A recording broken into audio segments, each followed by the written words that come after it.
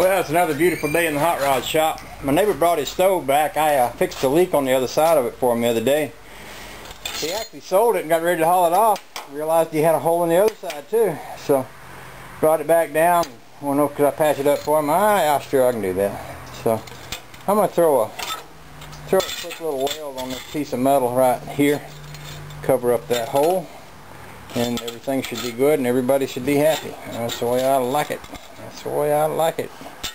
Everybody happy.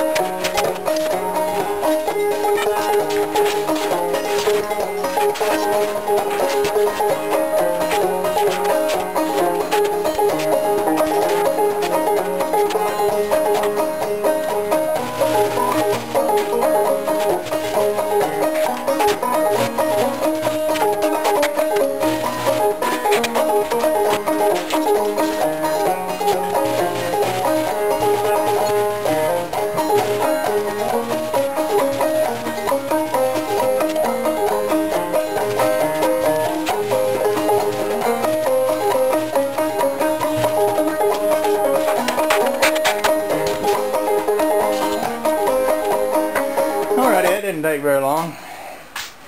I'll uh, haul that up there to my neighbor. That'll make him happy.